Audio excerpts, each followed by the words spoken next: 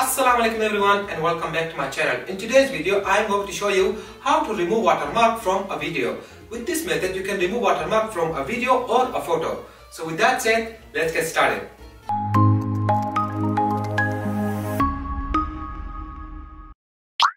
As you can see here I have a video that has huge text on it. I am going to use this video as an example but you can use any video that has a watermark like this. Alright, in order to do that, you need a software by the name of MarkGo. I will leave the link of the software in the video description below. So just go ahead, download and install it. After installing the software into your computer, just open it. With this software, you can also do all these things. Alright, in order to remove watermark from your video, select this option. Click on add video. Select the video that contains watermark once your video is added. As you can see on the right side you have two options. The first option is AI removal. If you select this option, the software will remove the watermark automatically. And if you select the second option, then you have to remove the watermark by yourself. So in my case, I am going to go with the first option. After that, click on remove now and then type the watermark that appears on your video.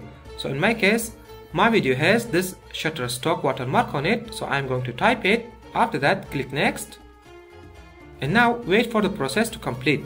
Once the process is completed, now your video shouldn't have any watermark. So as you can see, this video doesn't have anything written on it. Alright, now all you have to do is click on export now. But before you do that, you can also choose a location to save this video. So in my case, I am going to save this video on my desktop. Now again, wait for the software to export your video. This process will take time depending on how big your video is.